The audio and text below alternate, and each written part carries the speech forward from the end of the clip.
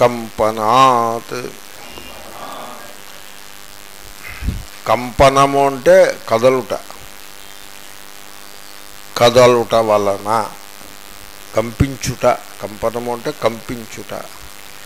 కంపించుట వలన అంటే అర్థం ఒక విషయవాక్యాన్ని ఆ పదం సూచిస్తూ ఉన్నది.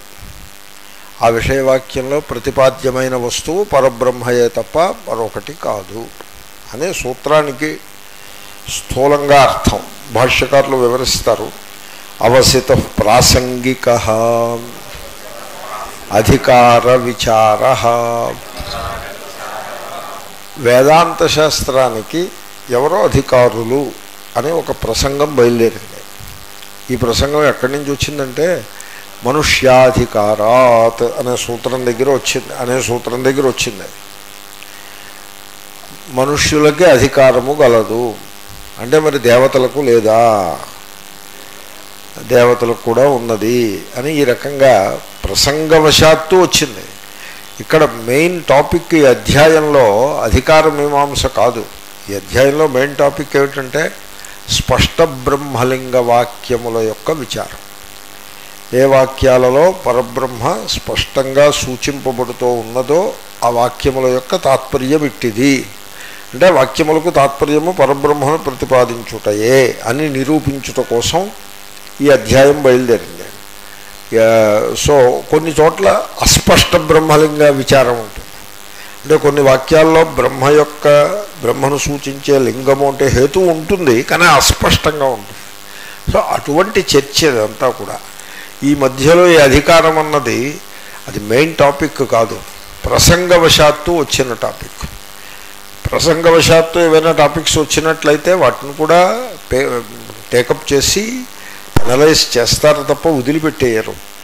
ఆ విధంగా వచ్చినటువంటి అధికార మీమాంస అధికార విచారము పూర్తి అయినది అవసిత పూర్తి అయినది. ప్రకృతమేవ ఇదానీ వాక్యార్థ విచారణం ప్రవర్తయిష్యామ సో ప్రాసంగికము పూర్తయింది ఇంకా ప్రకృతంలోకి వచ్చేస్తాం. ప్రకృతము అంటే the main topic of the అధ్యాయ. ఏమిటా మెయిన్ టాపిక్? ఉపనిషద్వాక్యములలో ఏ ఏ వాక్యముల ఎడల కొంత సందేహము గలదో అంటే అవి బ్రహ్మను ప్రతిపాదిస్తున్నాయా? లేక మరొకదాన్ని దేన్నైనా ప్రతిపాదిస్తున్నాయా? అనే సందేహము గల వాక్యములు ఏవి గలవో వాటిని విచారణ చేసి అవి తప్పనిసరిగా బ్రహ్మనే ప్రతిపాదిస్తున్నాయి అని నిరూపించుట. అది టాపిక్. ఇది తొలి నుంచే అదే వస్తుంది మనకి. ఆ టాపిక్నే మనం మధ్యలో కొద్దిగా డీవియేట్ అయినాము అధికార విచారం కోసం. అది పూర్తి చేసుకుని మళ్ళీ వాక్యార్థ విచారంలోకి తిరిగి వస్తున్నాము. వాక్యార్థం అంటే ఫలానా వాక్యానికి తాత్పర్యమేమి? ఫలానా వాక్యానికి తాత్పర్యము పరబ్రహ్మయా లేక మరొకటియా అని విచారం. అది మళ్ళీ మొదలు పెడుతున్నాము. సో అయితే ఒక వాక్యాన్ని పికప్ చేయాలి. ఏమిటా వాక్యము? కఠోపనిషత్తులో వాక్యం. యదిదం కించ జగత్సర్వం ప్రాణ ఏజతి నిస్సృతం. మహద్భయం వజ్రముద్యతం. య ఏతద్విదు అమృతాస్తే భవంతి ఇది అని ఉంది కఠోపనిషత్తులో. ఏదిదం కించ సర్వం జగత్. జగత్ అంటే కదిలేది. గచ్చతీతి జగత్ కదిలేది. అంటే ప్రాణికోటి సర్వం జగత్ అంటే సకలమైన ప్రాణికోటి సో ఈ సకలమైన ప్రాణి కోటి ఏది? కోటి అంటే సమూహం. సకలమైన ప్రాణి జాతము ఏది గలదో అది ఏదైతే ఏది ఉంటే అది ఏదిదం కించ. సర్వము ఇంక దేన్ని మీరు మినహాయించనక్కర్లా. దోమలు చీమలు మనుషులు పశువులు పక్షులు ఏనుగులు దున్నలు ఆవులు ఇవన్నీ సకలమైన ప్రాణులైతే ఏమిటి గలవో? ఇవి ఈ ప్రాణికోటి ఏజతి. ఏజురు కంపనే అని ధాతువు. అది కంపిస్తోంది అంటే చెలిస్తోంది అంటే కదులుతూ ఉన్నది. మీరు ప్రాణికోటిని చూసినట్లయితే ఇప్పుడు చెట్లు చూడండి అవి ఎప్పుడూ కదులుతూ ఉంటాయి. గాలి వీచితే కదలడం ఒక కదలడం స్థూలంగా ఉంది అది గాలి వీచనప్పుడు కూడా సూర్యకాంతి పడితే దాన్ని అబ్జర్వ్ చేసుకుంటాయి నేలలోంచి నీటిని లాక్కుంటాయి ఇతరములైన న్యూట్రియంట్స్ని కూడా నేలలోంచి తీసుకుంటాయి కార్బన్ డైఆక్సైడ్ని పీల్చుకుంటాయి ఆకుల ద్వారా. ఆ సూర్యకాంతికి కార్బన్ డైఆక్సైడ్ని వాటర్ని జోడి చే జోడించి సో గ్లూకోజ్ని తయారు చేస్తూ ఉంటాయి. It's a continuous process. End never ending process. తర్వాత భూమిలోంచి నీరు అలా పైకి ప్రవహిస్తూనే ఉంటుంది చెట్ల లోపల. క్యాపిలరీ మెకానిజం ద్వారా అలా పైకి అలా వెళ్తూనే ఉంటుంది. ఎప్పుడు వెళ్తూనే ఉంటుంది. అక్కడ ఇవాపరేట్ అయిపోతూ ఉంటుంది. కొంత కార్బన్ డైఆక్సైడ్తో కలిసి గ్లూకోజ్ అవుతుంది. కొంత ఇవాపరేట్ అవుతుంది. మళ్ళీ నీరు తీసుకుంటూనే ఉంటుంది. సో ఈ చెట్లు ఉన్నాయంటే ఎప్పుడూ అవి కదులుతూనే ఉంటాయి. అలాగే ఇతర ప్రాణులన్నీ కూడా దేహంలో రక్త ప్రసారం ఉంటుంది. వాడు అలాగా శిలా ప్రతిమ వలె కూర్చున్నప్పటికీ లోపల రక్తం ప్రసరిస్తూ గుండె కొట్టుకుంటూ ఈ విధంగా సకల ప్రాణులు కూడా కంపిస్తూ ఉంటాయి కదులుతూ ఉంటాయి. ఇవి ఇలా ఎందు ఎలా కదలగలుగుతున్నాయి? ఇప్పుడు ఈ ఇంట్లో ఉన్నటువంటి గ్యాడ్జెట్స్ అన్నీ కూడా పనిచేస్తున్నాయి అనుకోండి. హీటర్స్ హీట్ చేస్తున్నాయి కూలర్స్ కూల్ చేస్తున్నాయి ఫ్యాన్లు ఫ్యాన్ చేస్తున్నాయి గాలిని ఫ్యాన్ చేస్తూ ఉన్నాయి దీపాలు ప్రకాశాన్ని ఇస్తూ ఉన్నాయి సౌండ్ సౌండ్ సిస్టమ్స్ సౌండ్లను ఇస్తూ ఉన్నాయి. ఇవన్నీ గ్యాడ్జెట్స్ కూడా తమ తమ పనులను చేస్తూ ఉన్నాయి. ఎప్పుడు? ఎలక్ట్రిసిటీ ఉండగా. ఎలక్ట్రిసిటీ ఉండాలి. అలాగే ఈ సకల ప్రాణికోటి కూడా కంపిస్తూ ఉన్నది కదలుతూ ఉన్నది. కంపించుట అంటే కదులుట కదులుతూ ఉన్నది. నిరంతరము. ఎప్పుడు? ప్రాణే. వాక్యం చెప్తున్నాను నేను. ప్రాణే. ప్రాణ ఏ జతి విడదీస్తే ఏమవుతుంది? ప్రాణే. సతి సప్తమి. ప్రాణే సతి. ప్రాణము ఉండగా ఇవన్నీ కదులుతో ఉన్నాయి. నిస్సృతం. అంటే ఆ ప్రాణము నుండియే ఇవన్నీ ఆవిర్భవించినవి. ఓకే? ఇప్పుడు ఇక్కడ విచారం ఏమిటంటే ఆ ప్రాణము ఏమిటి అని విచారం. ఇంకా విశేషం ఏమిటంటే ఆ ప్రాణము గురించి ఆ ప్రాణము మహత్. చాలా పెద్దది. బిగ్. బిగ్ హౌ బిగ్ ఇప్పుడు బిగ్గర్ అంటే నాట్ వెరీ బిగ్ బిగ్ అంటే supreme he's a better person అంటే not a very good person so so whereas he's a good person అంటే మటుకు గుడ్ అలాగా. ఓకే సో ఎలా ఉందండి టిఫిన్ అంటే నిన్నటికంటే బాగానే ఉందంటే అర్థం ఏంటి? అలాగా. బాగుంది అన్నారనుకోండి పర్ఫెక్ట్ అలాగది మహత్ బిగ్ ఎండలో కూర్చున్నారు. అది వేసేస్తే వచ్చేస్తుందా? అంత ఎండ వేసినా వచ్చిన ఎండ నాది అంతే. ఆ పైనుంచి వస్తుంది. ఓకే ఇట్స్ ఓకే సో ఈ ప్రాణము మహత్. ఇప్పుడు ప్రాణం గురించి ఎన్ని విషయాలు చెప్పారు? ప్రాణము నుంచి సకల ప్రాణికోటి పుట్టినది నిశ్రుతం ప్రాణము ఉంటున్నప్పుడే సకల ప్రాణితోటి కదులుతోంది రెండవది. ఆ ప్రాణము మహత్ మూడవది. నాలుగవది ఆ ప్రాణము భయము. భయము అంటే భయహేతువు. అది భయమునకు కారణము. ఎలాంటి భయం? వజ్రముద్యతం. పైకెత్తిన వజ్రం. ఇలా కత్తి పైకెత్తి పట్టుకున్నాడు అనుకోండి ఒకడు. మీకు భయం వేస్తుందా లేదా? వేస్తుంది. దీన్ని డెమోకల్స్ సోర్డ్ అని అంటారు. సో వీడికి చక్కగా భోజనం పెట్టారు టేబుల్ మీద. భోజనం చేయండి అన్నాడు. వీడు మాట వరుసగా ఇలా చూస్తుంటే పైనుంచి కత్తి ఒకటి కనపడుతుంది. ఆ కత్తి సిల్క్ దారంతో వేలాడుతూ ఉంటుంది. అంటే ఎప్పుడైనా ఆ దారం పట్టమని ఆ కత్తి నెత్తి మీద పడి కరెక్ట్గా నెత్తి మీద ఉందన్నమాట. బ్రహ్మరంధ్రంలో పడి వీడు ఎగిరిపోతాడు. ఇప్పుడు మంచి ఫస్ట్ క్లాస్ ఫుడ్ తినాలి. దాని కింద కూర్చుని. మనుషుల బతుకులు అలాగే ఉంటాయి. వజ్జి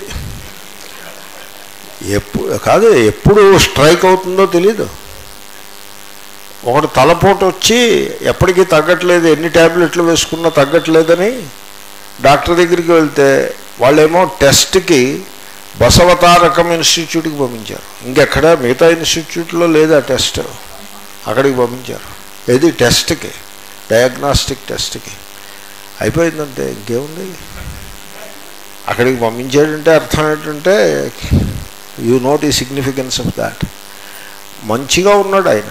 అన్ని విధాలా సుఖంగా ఉన్నాడు. ఏ కష్టమూ లేదు. తలపోటు వచ్చిందంతే. ఆ తలపోటు మాత్రకి తగ్గట్లేదు అది. That is how things are so భయం ఉద్యతం. వజ్రం ఉద్యతం. ఎప్పుడైనా నెత్తిమీ పడిపోవచ్చు. ఎప్పుడైనా. గోదావరి ఒడ్డున నివాసం చేస్తున్నారు. ఎప్పుడైనా మునిగిపోవచ్చు ఇల్లు. సంథింగ్ లైక్ దాట్ అది అటువంటి భయహేతువు వజ్రము వలె పైకెత్తిన అంటే ఉద్యతం అంటే కొట్టడానికి సిద్ధంగా ఉన్న వజ్రము వలె ఉన్న భయహేతువు. అది ఆ ప్రాణము. ఇది నాలుగవది. కాబట్టి ప్రాణానికి నాలుగు విశేషణాలు ఉన్నాయి ఐదో విశేషణం ఏమిటంటే ఏ ఏతద్విదు ఎవరైతే ఈ ప్రాణమును తెలుసుకుంటారో తే అమృతా భవంతి. వాళ్ళు అమృతులు గుదురు కాబట్టి ఆ ప్రాణ జ్ఞానము వలన అమృతత్వము లేక మోక్షము వచ్చును. ఐదవది. ఐదు అంశాలు. ఏమిటి ప్రాణము? అని విచారం. ఓకే? అవును కంపనాత్ అనే సూత్రాన్ని బట్టి ఇది విషయవాక్యం అని మీకు ఎలా తెలిసింది? సూచనాత్ సూత్రం. ఏతద్వాక్యం ఏజ్రు కంపనే ఇది ధాత్వర్థానుగమాత్ లక్షితం. ఏజురు కంపనే అని ధాతువు ఉంది. ఆ ధాతువుని ఈ సూత్రం సూచిస్తోందా? లేదుగా ధాతువుని సూచించట్లేదు. ఏజురు అని లేదుగా అక్కడ. ధాత్వర్థాన్ని సూచిస్తోంది. ధాతువు యొక్క అర్థము కంపనము. ఆ ధాత్వర్థాన్ని సూచిస్తోంది. ధాత్వర్థాన్ని అనుసరిస్తోంది. కంపనాత్ అనే ఆ ఆ పదమును బట్టి ధాత్వర్థాన్ని అను అనువర్తిస్తోంది. ధాత్వర్థం వెంట పడి ఉన్నది. అంటే ధాత్వర్థాన్ని బోధిస్తూ ఉన్నది. దాని చేత విషయవాక్యము ఇది అని లక్షితం సూచించబడినది. అంటే విషయవాక్యాన్ని ఇండైరెక్ట్గా సూచించారు. కొన్ని చోట్ల విషయవాక్యాన్ని ఇండ డైరెక్ట్గా సూచిస్తారు. ఇప్పుడు అథాతో బ్రహ్మ జిజ్ఞాస అని ఉందనుకోండి డైరెక్ట్గా విషయవాక్యం బ్రహ్మ విజిజ్ఞాసస్వ అనే తైత్రీయ విషయవాక్యం డైరెక్ట్గా సూచించబడింది. ఇక్కడ ఇండైరెక్ట్గా సూచితమైనది. సో ఇప్పుడు ఇక్కడ విచారం ఏమిటంటే అస్మిన్ వాక్యే సర్వమిదం జగత్ ప్రాణాశ్రయం స్పందతే. ఓకే ఈ వాక్యాన్ని మీరు పరిశీలించండి. దీంట్లో ఏం చెప్పారు? మొదటి మాట ఏం చెప్పారంటే ఇదం సర్వం జగత్ ప్రాణాశ్రయం స్పందతే. ఈ సకల జగత్తు అంటే ప్రాణికోటి కదులుచున్నది. ఎలా కదులుతోంది? ప్రాణము ఉంటుండగా కదలుచున్నది. అనగా ప్రాణమే ఆశ్రయముగా కలిగి కదులుచున్నది. నెంబర్ వన్ ఇంకా ఏమిటి? మహచ్చ అది పైగా గొప్పది. అంటే బ్రహ్మానర్థం. మహత్ అంటే చాలా పెద్దది. ఇంకా ఏమిటి? కించిత్ భయకారణం. వజ్రశబ్దితం ఉద్యతం. ఆ ప్రాణము ఏదో ఒక భయహేతువు. భయం అంటే భయకారణం. బిభేతి అస్మ అనేనా ఇది భయం. భయహేతువు ఏదో ఎటువంటి భయహేతువో మనం చెప్పలేము. అంటే అది స్పష్టంగా తెలియటలేదు ఆ మంత్రంలో ఏమనుందంటే భయం అనే ఉంది తప్ప ఏ కారణంగా ఏ విధంగా భయము అని చెప్పలేదు. కించిత్ భయ కారణం దానికి ఒక దృష్టాంతం కూడా. ఎటువంటి భయము? వజ్ర వజ్రశబ్దితం. వజ్రం అనే పదంతో సూచించబడిన భయం. వజ్రం అంటే పిడుగు. పడట నెత్తి మీద పడటానికి సిద్ధంగా ఉన్న పిడుగు ఉద్యతం. ఎటువంటి పిడుగు? నెత్తి మీద పడడానికి సిద్ధంగా ఉందా పిడుగు అటువంటి పిడుగు. సో చూడండి జనులు ఎలా ఉంటారంటే ఇంకా మనకి చాలా టైం ఉంది అనేదో ఆలోచిస్తూ ఉంటారు. ఆ పిడుగు సడన్గా పడుతుంది. అది ఎప్పుడు పడ్డా సడన్గానే పడుతుంది. అది కొంతమందికి నోటీస్ ఇచ్చి పడి కొంతమందికి సడన్గా పడి అలా ఏ ఉండదు. సో ఆ శబ్ వజ్ర శబ్దంతో దాన్ని పోల్చారు. అది ప్రాణము అది అదేమిటో తెలియాలి ఇప్పుడు మనకి. ఇంకా పైగా ఏమిటో తెలుసిన? తద్విజ్ఞానాచ అమృతత్వ ప్రాప్తి. దాన్ని తెలుసుకుంటే వీడు ఇమ్మోర్టల్ అయిపోతాడు మోక్షాన్ని పొందేస్తాడు. ఇది శ్రూయతే అని మనకి శృతిలో అలా వినబడుతూ ఉన్నది. ఓకే? వాక్యం తెలిసింది కదా కఠోపనిషత్తు. ఇప్పుడు ప్రశ్న. తత్ర కోసౌ ప్రాణ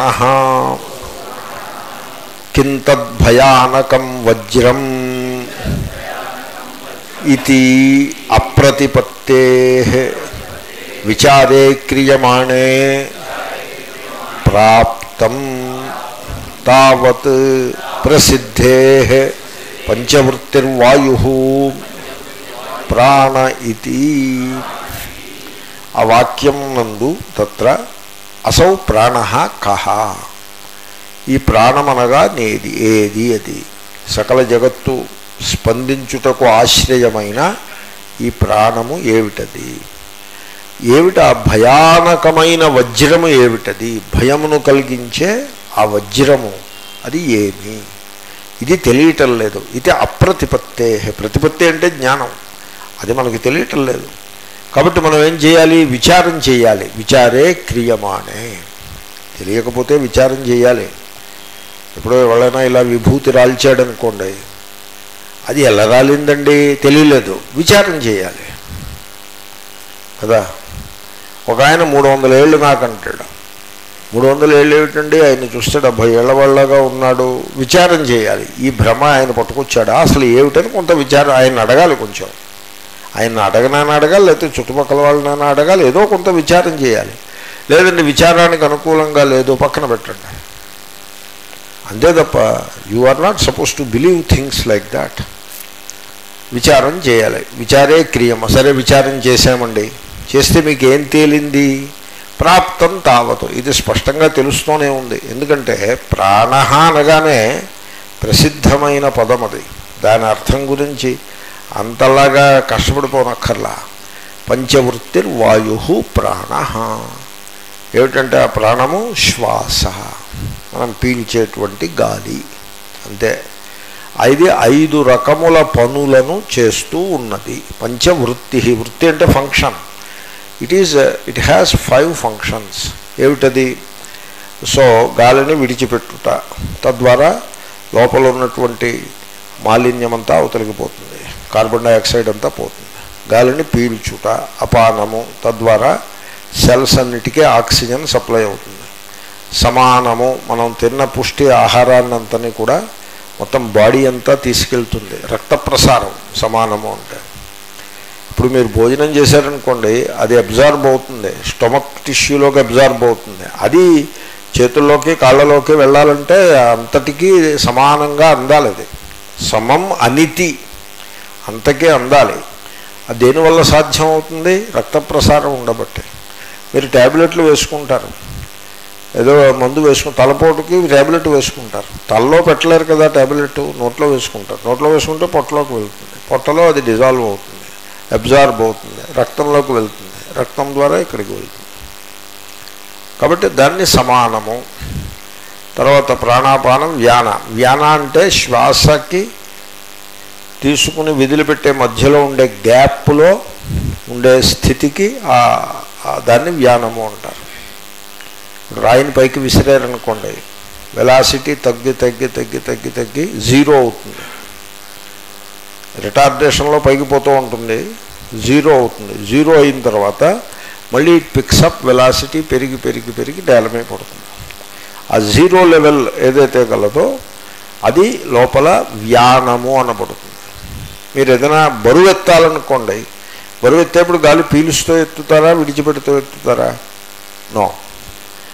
పీల్చరు విడిచిపెట్టరు. అలా హోల్డ్ చేసి బరువు ఎత్తుతారు. బరువు ఎత్తే వాళ్ళు ఎలా ఎత్తుతారంటే బాగా గాలి పీల్చుకుంటారు. హోల్డ్ చేసి ఎత్తుతాడు. విడిచిపెడుతూ కింద పడేస్తాడు. ఆ హోల్డ్ చేయటం సో దట్ మంచి బలమైన పనిని మీరు చేయగలుగుతారు. అది వ్యానము. ఉదానము అంటే పైకొచ్చేదంతా ఉదానమే.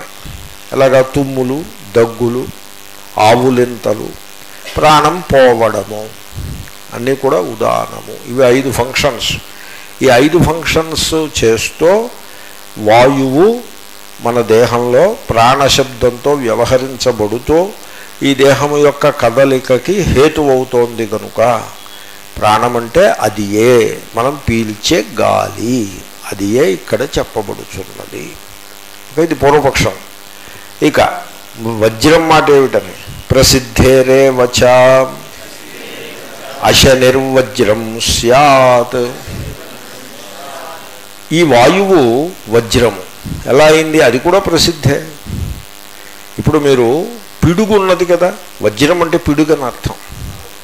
వేదాల్లో వేదమంత్రాలలో వజ్రము అంటే పిడుగు. పురాణంలో వజ్రం అంటే ఏమిటో తెలుసిన? మారిపోతుంది. దర్శనం వేరు పురాణం వేరు. వేదంలో ఇంద్రుడు అంటే ఏమిటో తెలుసిన? పర్జన్యుడు. పర్జన్యాధిపతి. వర్ష వర్షించే మేఘమునకు ఇంద్రుడు అని పేరు. ఆ ఇంద్రుడి చేతిలో ఏముంటుంది? వజ్రం ఉంటుంది. అంటే ఇప్పుడు వజ్రం అంటే ఏమిటి? పిడుగు అని అర్థం. వర్షించే మేఘంలో ఉంటుందా పిడుగు? లేకపోతే వర్షం లేని మేఘంలో ఉంటుందా? వర్షించే మేఘంలోనే ఉంటుంది పిడుగు. కాబట్టి వర్షించే మేఘము ఇంద్రుడు పిడుగు వజ్రము. అప్పుడప్పుడు ఆ పిడుగు చెట్టుకి పడిందనుకోండి చెట్టు కాలిపోతుంది. బిల్డింగ్ మీద పడిందనుకోండి బిల్డింగ్ కూలిపోతుంది. అంచేతన దాన్ని అంత పవర్ఫుల్గా వర్ణించారు. కాబట్టి ఆ పిడుగు వాయువు యొక్క రూపమే. వాయువేగా వర్షించే మేఘం అంటే ఏమిటి? Monsoon wind. మాన్సూన్ విండ్ వర్షించే మేఘం అవుతుంది దాని నుంచే పిడుగు వస్తుంది. కాబట్టి ఆ వాయువే పిడుగు. కొద్దిగా మార్పులు చేర్పులు అయ్యి పిడుగు అవుతుంది ఇది కూడా ప్రసిద్ధమైన విషయమే. వాయోశ్చ ఇదం మాహాత్మ్యం సంకీర్త్యతే. సో వాయువు గురించి చెప్పి ఆ వాయువు ఎంత గొప్పది? నీవు పీల్చి విడిచిపెట్టే గాలి ఇంత గొప్పది. ఎంత గొప్పదో తెలుసునాది ఎలాగంటే కథం. సర్వమిదం జగత్. ప్రాణ పంచవృత్తౌ వాయౌ. ప్రాణశబ్దితే. ప్రతిష్టాయ ఏజతి. ఈ వాయువు యొక్క గొప్పతనం ఏమిటంటే ఈ సకల ప్రాణికోటి కూడా ఆ వాయువునందే ప్రతిష్ట గలది అయి వాయువునే ఆశ్రయముగా చేసుకుని ఎటువంటి వాయువు? పంచవృత్తి వాయువు. ఐదు రకముల వ్యాపారములను చేసే వాయువును ఆశ్రయముగా చేసుకుని కదలుచున్నది ఏ జతి అబ్బా ఎంత గొప్పదో చూడండి వాయువు నెంబర్ వన్ రెండు. వాయు నిమిత్తమే వచ్చ. మహద్భయానకం వజ్రం ఉద్యమ్యతే. వర్షాకాలం వచ్చేప్పటికి పెద్ద వజ్రం ఒకటి భయమును గొల్పే వజ్రము సిద్ధమవుతోంది కొట్టడానికి. అలా ఆ వజ్రము అంటే పిడుగు సిద్ధమవుతోందంటే దానికి కారణం ఏంటో తెలిసిన? వాయువే కారణం. మాన్సూన్ విండ్స్ మూలంగానే ఆ వజ్రము కొట్టడానికి సిద్ధంగా ఉన్నది. ఓకే? కాబట్టి అది రెండవ మహిమ వాయువు యొక్క మహిమ. ఇదంతా వాయువు గురించి చెప్తున్నట్టుగా కనపడుతోంది కదా. పూర్వపక్షం ఇదంతా కూడా. అదేమిటో వివరిస్తున్నారు. వాయువు వల్ల పిడుగు ఎలా వచ్చిందో చెప్తున్నారు. హి అంటే బికాస్. వాయౌ హి. పర్జన్యభావేన వివర్తమానే. విద్యుత్ స్తనయిత్ను వృష్టి అశనయ వివర్తంతే ఇత్యాచక్షతే. హీ బికాస్ ఏమిటంటే వాయువు నుంచి పిడిగి ఎలా వచ్చిందంటే చూడు వాయువు మేఘముగా మారుతుంది అది పర్జన్యభావేన వివర్తమానే. మేఘరూపాన్ని సంతరించుకుంటుంది వాయువు. అంటే విండ్ మాన్సూన్ విండ్ అది మేఘాకారాన్ని పొందుతుంది. పొందినప్పుడు తరువాత క్రమంగా మేఘాకారం రాగానే మేఘము అంటే వర్షించే మేఘమని అర్థం. ఒకసారి ఆ రూపం దానికి రాగానే క్రమక్రమంగా విద్యుత్ మెరుపనే రూపం వస్తుంది. తర్వాత స్తనయిత్తును అంటే గర్జన మేఘ గర్జన ఢమ్ ఢమ్ ఢమ్ అని గర్జిస్తుంది కదా ఆ రూపం వస్తుంది. వృష్టి వర్షము పడుట అనే రూపం వస్తుంది అశని పిడుగు పడుట అనే రూపం. ఇన్ని రూపాలు అన్నీ కూడా ఆ వాయువు వలననే వాయువు నుండియే వస్తున్నాయి. ఇది బాగా ప్రసిద్ధమైన విషయం. అని ఆచక్షతే అని పెద్దలు చెప్తున్నారు. అది మా టాపిక్ కాదు అది. మేము వేదాంతులం మేము మీటియరాలజిస్టులం కాదు. అలా చెప్తున్నారు వాళ్ళు. ఓకే అది వాయువు యొక్క మహిమ. ఇంకా వా ఇంకొకటి మిగిలి ఉన్నది ఏమిటి? వాయువు గురించి తెలుసుకుంటే మోక్షం వస్తుందని. అదొకటి చెప్పాలి కదా అన్నది అది చెప్తున్నాడు.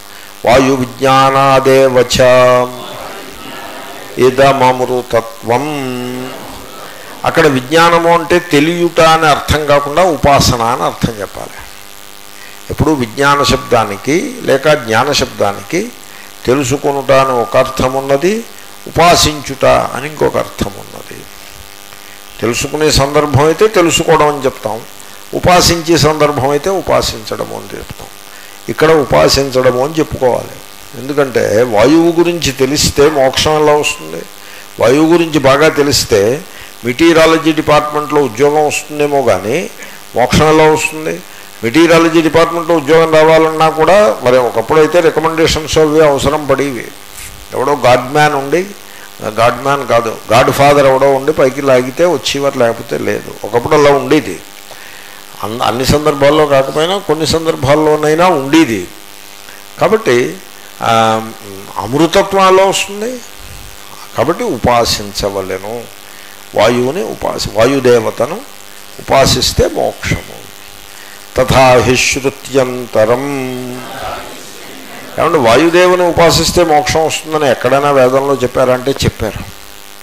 ఒక శృతి అలా చెప్తోంది. ఎలాగంటే వాయురేవ వ్యష్టి వాయుస్సమష్టి అపపునర్మృత్యుంజయతి య ఏవం వేద ఇది ఇది ఇది ఒక శృతి బహుశా చాందోగ్యం నుంచి వచ్చిందేమోను సంవర్గ విద్య నుంచో అక్కడి నుంచో వచ్చి ఉంటుంది. అక్కడ ఏం చెప్పారంటే ఒక వ్యష్టి అంటే ఇండివిజువల్ లైఫ్ ఫామ్ అదేమిటది? వాయుదేవతయే.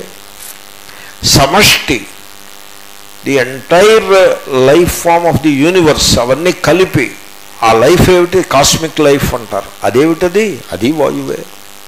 ఎవరైతే ఈ విధంగా ఉపాసన చేస్తారో తనలో ఉన్నది వాయుదేవత. సకల జగత్తును వ్యాపించి వాయుదేవతయే గలదు అని ఉపాసన చేస్తారో. వాళ్ళకి మృత్యువును జయిస్తారు. వాళ్ళు మృత్యువును జయిస్తారు. అపమృత్యువును జయిస్తారు. అంటే వాళ్ళు దీర్ఘకాలం జీవిస్తారు. తొందరగా చచ్చిపోరు. అకాల మరణం అనేది వాళ్ళకి ఉండదు అని చెప్పారు లేదా? అదే అమృతత్వం అంటే. అమృతత్వం అనే మాటకు అర్థం అదే. అపమృత్యువును జయించుట అని అర్థం చెప్పుకుంటాం. కాబట్టి ఇక్కడ వాయుదేవతయే బోధింపబడుతూ ఉన్నది. తస్మాత్ వాయు అయమిహ ప్రతిపత్తవ్య ఇది కాబట్టి ఈ కఠోపనిషద్ మంత్రంలో మనం తెలుసుకోవలసినది ఈ మంత్రాన్ని బట్టి తెలుసుకునే తత్వము వాయువే. అయం ప్రాణ వాయురేవ. ఇది పూర్వపక్షం. ఏం ప్రాప్తే బ్రూమ. సో ఈ విధంగా పూర్వపక్షం ముందుకొచ్చింది. దీని మీద మేము సమాధానం చెప్తున్నాము ఏమని? ఇప్పుడు సూత్రంలోకి బ్రహ్మ అనే పదాన్ని అనువృత్తి చేసుకోవాలి. తథాతో బ్రహ్మ జిజ్ఞాస నుంచి బ్రహ్మ అనే పదం వస్తుంది. దానికి అర్థం. బ్రహ్మైవేదం ఇహ ప్రతిపత్తవ్యం. అయ్యా ఈ మంత్రంలో ఇహ ఈ మంత్రంలో ఈ ప్రాణశబ్దము చేత చెప్పబడే తత్వము బ్రహ్మమ పరబ్రహ్మయే అని మీరు తెలుసుకోవాలి. ఇప్పుడు మీకు ఓ మాట చెప్తా చూడండి. మీరు సపోజ్ మీరు రాహుగ్రహాన్ని పూజిస్తున్నారనుకోండి. మీకు రాహుగ్రహ పూజ చేయమని ఎవరో చెప్తారు. మీరు విగ్రహం పెట్టుకుని ఆ విగ్రహం కూడా చెప్తారు. దానికి పూజ ఏదో చేస్తారు. మంత్రం ఉంది. అది చెప్తారు. మీరు రాహుగ్రహ పూజ చేయండి అని చెప్తారు. చెప్తే మీరు రాహుగ్రహ విగ్రహం పెట్టుకుని పూజ చేస్తున్నారు. ఏమండి? మీరు ఆ పూజలు ఆ పూజలో ఏమని ఉంటుందంటే ఈ సకల జగత్తుకి సృష్టికర్త అయిన సృష్టికర్త సృష్టికర్తకు నమస్కారము. నా నామాలు ఉంటాయి కదా. సకల జగత్తును సృష్టించిన వాని కొరకు నమస్కారము. జగత్తును రక్షించే వాని కొరకు నమస్కారము. జగత్తును తనలో లీనము చేసుకునే వాని కొరకు నమస్కారము. భక్తులను అనుగ్రహించి మోక్షమునిచ్చి వాని కొరకు నమస్కారము. అని అలాగా నామాలు ఉంటాయి. నూట ఎనిమిది నామాలు. ఇది పూజ. ఇప్పుడు నేను మిమ్మల్ని ప్రశ్న అడుగుతా మీరు చెప్పండి నాకు. ఇక్కడ మీరు సకల జగత్తును సృష్టించి పాలించి ఉపసంహారం చేసే పరబ్రహ్మతో సంబంధం లేకుండా రాహువు అనే ఒక సెపరేట్ దేవతని పూజిస్తున్నారా? లేక రాహు అనే రూపం ద్వారా ఆ సకల జగత్తును సృష్టించి పాలించి ఉపసంహరించే పరమాత్మని పూజిస్తున్నారా? పూజిస్తున్నారు. అంటే మీరు బ్రహ్మ విద్యా కుటీర్లో పాఠాలు వింటున్నారు అని అర్థం. మీరు ఈ జ్యోతిషాస్త్ర పండితుడిని అడగండి వెళ్ళి. ఏం చెప్తాడు? రాహువుని పూజిస్తున్నావయ్యా అలాంటి పిచ్చి పిచ్చి మాటలు మాట్లాడుకు. రాహువుని పూజిస్తున్నావు. నువ్వు రాహువుని పూజిస్తున్నావు వాడు కేతువుని పూజిస్తున్నాడు వాడు గురువుని పూజిస్తున్నాడు వాడు చంద్రుణ్ణి పూజిస్తున్నాడు. అంతా ఒకటేగా ఏకంపాకం అయితే ఈ మంత్రాలన్నీ ఎందుకు ఈ పూజలన్నీ ఎందుకు ఈ నామాలన్నీ ఎందుకు? కాబట్టి ఇవి సెపరేటే అని చెప్తాడు వాడు. కదా? అలా జ్యోతిష్శాస్త్రం వాళ్ళు అలా చెప్తూ ఉంటారు. అది పూర్వపక్షం ఇక్కడ. కాబట్టి ఇక్కడ వాయువుని కాదు పూజించటం. వాయు రూపంగా ఉన్న పరమాత్మయే ఇక్కడ తెలియదగినది. బ్రహ్మయే. అది సందర్భం. చూసారా ఎంత ఇంపార్టెంట్ సందర్భమో చూసారా? ప్రస్తుతం మన సమాజంలో ఉన్నటువంటి వికృతులన్నీ కూడా జ్ఞానంతో సంబంధం లేకపోవడం చేతనే వచ్చినవి. అది చిత్రమైన సందర్భం మంచిది. కాబట్టి ఇక్కడ ప్రాణశబ్దం చేత చెప్పబడేది వాయువు అనే ఒక సెపరేట్ దేవత గురించి కాదు. సకల జగత్తునకు ఆశ్రయమైన పరబ్రహ్మయే ఇక్కడ చెప్పబడుచున్నది. కుత ఎందువలన? పూర్వోత్తరాలోచనాత్. ఈ మంత్రం కఠోపనిషత్తు నుంచి వచ్చింది. కఠోపనిషత్తులో ఇది నెంబర్ ఏమిటంటే టూ సిక్స్ టూ.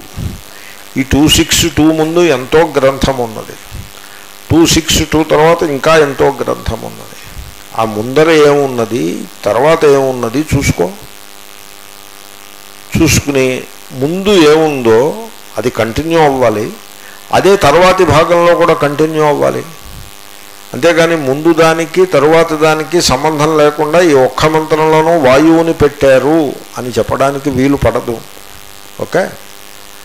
పూర్వోత్తరాన్ని మనం జాగ్రత్తగా పరిశీలించాలి. ఆలోచనము అంటే లోతుగా పరిశీలించాలి. ఎలాగా?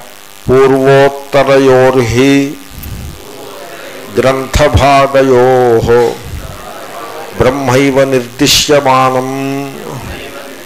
ఉపలభామహే. ఓకే మనం పరిశీలిద్దాం. మొదలుపెట్టండి పరిశీలన. కఠోపనిషత్తు అంతా పరిశీలించండి. సిక్స్ టూ సిక్స్ టూకి ముందు అంటే తొలి నుంచి టూ సిక్స్ వన్ వరకు పరబ్ పరమాత్మ గురించే చెప్పారు. టూ సిక్స్ టూలో ఏం చెప్పారో ఇప్పుడు మనం చర్చ చేస్తున్నాం. అది అది పక్కన పెట్టండి. టూ సిక్స్ త్రూని త్రీ నుంచి మళ్ళీ చెట్ట జిగురు దాకా మళ్ళీ పరమాత్మనే చెప్పారు. అది స్పష్టంగా మనకి కనబడుతూ ఉన్నది. ఉపలభామహే మనకి తెలుస్తూ ఉన్నది. అలా తెలుస్తూ ఉండగా ఇహైవ కథం. అకస్మాత్ అంతరాలే వాయుం నిర్దిశ్యమానం ప్రతిపద్యేమహీ. కేవలము ఈ ఒక్క మంత్రంలో మాత్రమే హఠాత్తుగా మధ్యలో వాయు వాయువు వచ్చి కూర్చుంది. వాయువు అనే మాట అనలేదు ప్రాణశబ్దాన్ని పెట్టారు. వాయువు అంటలేదు ప్రాణ అంటున్నారు. ఆ ప్రాణహాకి మీరు వాయువు అని అర్థం చెప్తున్నారు గాలి అని అర్థం చెప్తున్నారు. అంతకు ముందు లేదు గాలి తరువాత లేదు సరిగ్గా ఇక్కడ మాత్రమే వాయువు అనే అర్థాన్ని మీరు హఠాత్తుగా తీసుకొచ్చి పెడుతున్నారు. అది ఎలా కుదురుతుంది అది అంగీకారం అవుతుందా మరి? అవ్వదు. వాయు శబ్ద ప్రయోగం చేస్తే ఇంకా గతి లేదో చూసుకోవాలి. ఇక్కడ వాయు శబ్ద ప్రయోగం చేయలేదు. ప్రాణశబ్ద ప్రయోగం చేశారు. ఏమిట్రా ప్రాణం అంటే వాయువు అని అంటున్నారు మీరు. సో అది వివరిస్తున్నారు. ముందేముంది అంతకు ముందే ఉంది. Let us see two six వన్లో ఏముందో చూడండి. పూర్వత్ర తావత్. టూ సిక్స్ వన్లో ఏం చెప్పాడో చూసుకోండి. వాయువు గురించి చెప్పాడా? ఇంకేదైనా చెప్పాడా? తదేవ శుక్రం తద్బ్రహ్మ. తదేవామృతముచ్యతే. తస్మిన్ లోకాశ్రిత సర్వే. తదునాత్యేతి కష్టన ఇది బ్రహ్మ నిర్దిష్టం.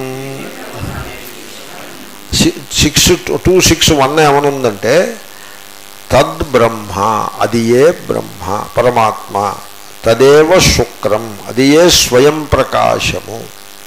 పరమాత్మ స్వయంగా ప్రకాశిస్తూ ఉంటుంది స్వయంగా తెలుస్తూ ఉంటుంది జ్ఞానస్వరూపము కనుక తదేవ అమృతముచ్యతే అది ఏ అమృత స్వరూపము అనగా మోక్షము అని ఆ ప ఆ బ్రహ్మయే పరమాత్మయే చెప్పబడుతోంది. సర్వే లోకా సకల ప్రాణులు కూడా తస్మిన్ శ్రితా ఆ పరమాత్మ ఎందే ఆశ్రయమును కలిగి ఉన్నవి. తదు నాత్యేతి కశ్చన. సో కశ్చన ఎవడైనా కూడా తదు ఆ ఊ అంటే మరియు తత్ ఆ బ్రహ్మను నా అత్యేతి. దాటివేసి అంటే బ్రహ్మని ఆశ్రయించకుండా పరమాత్మని ఆశ్రయించకుండా ఇంకొక దాన్ని దేన్నో ఆశ్రయించుకుని ఫలానా వాడు ఉన్నాడు ఫలానా ప్రాణి ఉన్నది అని చెప్పడానికి ఏదీ లేదు. ఇప్పుడు రావణాసురుడు ఉన్నాడు. వీడు పరమాత్మతో సంబంధం లేకుండా సపరేట్గా ఉన్నాడు అని అనుకుంటే పొరపాటు. వాడు కూడా పరమాత్మతో సంబంధం కలిగియే ఉన్నాడు. అంటే మీకు పురాణాల్లో తరువాతి కాలంలో వచ్చిన ఈ పురాణ గాథలలో ఈ డెవిల్ అంటే ఈ అధర్మాన్ని ఒక ప్యారలల్ రియాలిటీగా నిరూపిస్తారు.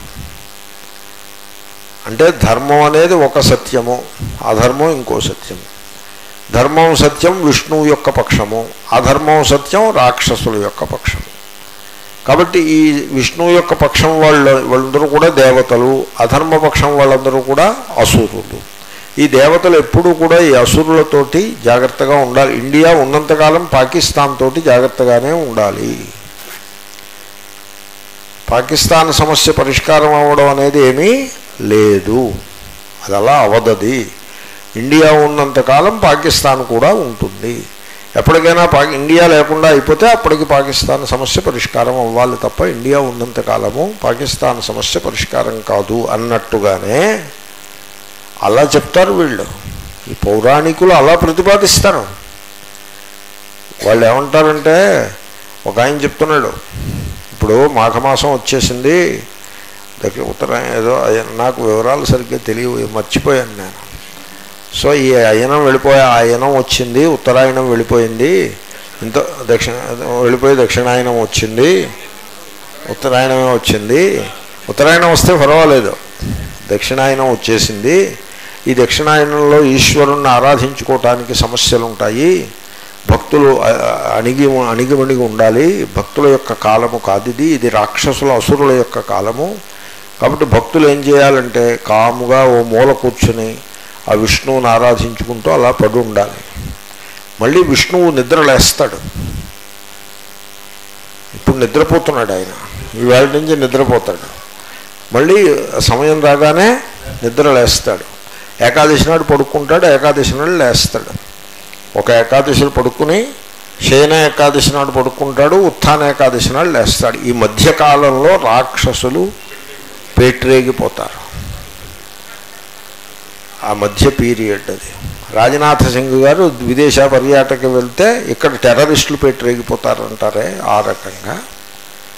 ఇది ఆ కాలము. కాబట్టి మీరందరూ జాగ్రత్తగా కాలక్షేపం చేసుకోండి. ఆ విష్ణువుని ఆశ శరణాగతి చేసి ఎలాగో అలాగ ఈ దుష్టకాలాన్ని తప్పించేసుకుంటే మీరు మళ్ళీ ఉత్థాన ఏకాదశి వచ్చేస్తే ఇంకా మనదే పక్షం. ఈ అసురులు ఎలా ఉంటారంటే వాళ్ళు వినాయకులు కూష్మాండులు రుద్రులు భైరవులు ఇలాంటి పేర్లు పెట్టుకుని ఉంటారు వెళ్ళి అసురులు. అని చెప్తారు. ఇది ప్యారలల్ రియాలిటీ ఎనీవే సో అలాగేమీ లేదు. తదు నాత్యేతి కశ్చన. ఆఖరికి రావణాసురుడి యొక్క ఆత్మ కూడా పరమాత్మయే. రావణాసురుడి దేహంలో ఉండే ప్రాణాన్ని నిలబెట్టేది కూడా పరమాత్మయే. తదు నాత్యేతి కశ్చన. ఓకే ఇది టూ సిక్స్ వన్ అక్కడ దేన్ని చెప్పారు? వాయువుని చెప్పారా? బ్రహ్మని చెప్పారా? బ్రహ్మనే చెప్పారు. అక్కడ ఇష్యూ లేదు. ఇష్యూ టూ సిక్స్ టూ దగ్గరే తర్వాత తదేవ ఇహాపి సన్నిధానాత్ జగత్సర్వం ప్రాణే ఏజతి ఇది చ లోకాశ్రయవత్వ ప్రత్యభిజ్ఞానాత్ నిర్దిష్టమితి గమ్యతే. ఏమంటే సిక్స్ టూ సిక్స్ వన్లో ఏ బ్రహ్మ చెప్పబడినదో అదే బ్రహ్మ టూ సిక్స్ టూలో కూడా చెప్పబడుతోంది. సన్నిధానము ఎంత దగ్గరగా ఉందో చూడండి. సడన్గా చాప్టర్ మారిపోయి ఉంటుందండి ఈ మధ్యలో అనడానికి వీర్లేదు టూ సిక్స్ వన్లో బ్రహ్మ చెప్పి త్రీ ఫైవ్ ఫోర్లో వాయువు వచ్చిందనుకోండి వచ్చి ఉండొచ్చు. బ్రహ్మ మధ్యలో పూర్తయిపోయి ఉంటుంది తర్వాత వాయువు షురు అయ్యి ఇక్కడ వాయువు దగ్గర ఉన్నాము అనుకోవచ్చు. అలా ఏమీ లేదు. ఆ బ్రహ్మయే సన్నిధానము. తర్వాత పోనీ సడన్గా మారిందనుకుందామా అంటే సడన్గా మారలేదు. మీరు చూడండి ప్రత్యభిజ్ఞానం ఉన్నది. ప్రత్యభిజ్ఞానం అంటే అది ఇదే. అది ఎలాగా? టూ సిక్స్ వన్లో చూస్తే ఏమనుంది? తస్మిన్ లోకాశ్రిత సర్వే అనుంది. ఆ పరమాత్మయందు సకల ప్రాణులు ఆశ్రయించి ఉన్నాయి అనుంది. అంటే సకల లోకములకు ఆశ్రయమగుట అనేది టూ సిక్స్ వన్లో ఉంది. టూ సిక్స్ టూలోకి వస్తే మళ్ళీ అదే ఉంది. సకల లోకములు ఆ పరమా దానిని ఆశ్రయించి ఉన్నవి. అంటే ఇప్పుడు అది అదే అవుతుందా మరొకటి అవుతుందా? అదే అవుతుంది ప్రత్యభిజ్ఞానము అంటారు. కాబట్టి సకల లోకాశ్రయత్వము అనే ప్రత్యభిజ్ఞానం వల్ల కూడా టూ సిక్స్ వన్లోని పరమాత్మయే టూ సిక్స్ టూలోకి వచ్చింది తప్ప సడన్గా ఇంకో కొత్త ఎలిమెంట్ వాయుదేవత అనేది ఇక్కడికి రాలేదు. ఇక ప్రాణశబ్దం ఉంది కదా దానికి అర్థం మరి వాయువు అని కదా అంటే అక్కర్లేదు. ప్రాణశబ్దానికి పరమాత్మ అని కూడా అర్థం చెప్పవచ్చు. అంటే రాహు శబ్దము గలదు కదా రాహు శబ్దానికి అర్థం పరమాత్మ అంటే అవుతుంది. ఏమి సమస్య ఇంకా కాదు. రాహు మంత్రం ఉంది కదా పునః అది పరమ అది చెప్తుంది. ఏమీ సమస్య ఉండదు. నిజానికి పరమాత్మనే చెప్తూ ఉంటుంది. మీరు ఆ లోతుల్లోకి వెళ్ళకుండగా మీరు ఆ ఎటిమలాజికల్ మీనింగ్ని తెలియకుండా వాడు ఎవడో చెప్పాడని మీరు అలాగా మొండిగా పట్టుకుని ఉండబట్టి మీకు సపరేట్గా అనిపిస్తోంది తప్ప మీరు ఎటిమాలజీ చూసుకుని మంత్రాన్ని పరిశీలిస్తే ఈ రాహు అంటూ సెపరేట్ ఏమీ లేదు ఇది పరమాత్మయే అని మీకు తెలిసిపోతుంది. ఇక్కడ అంతే. ఇంకా వీడికి మిగిలింది ప్రాణశబ్దం. దాని మీద పూర్వపక్షికి ఏం మిగిలింది?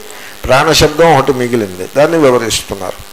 ప్రాణశబ్దోపి అయం పరమాత్మన్యేవ ప్రయుక్త.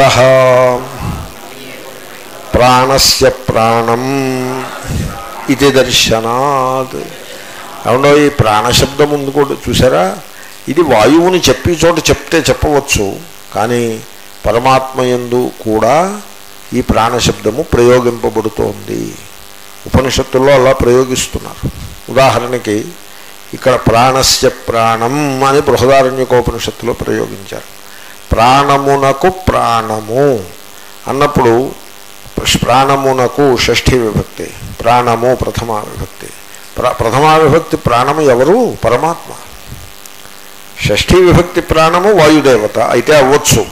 కానీ ప్రాణ ప్రథమా విభక్తిలో ఉన్న ప్రాణము పరమాత్మయే. అలాగే కేనోపనిషత్తులో కూడా. శ్రోత్రస్య శ్రోత్రం చక్షుషక్షు వాచోహ వాచం ప్రాణస్య ప్రాణ.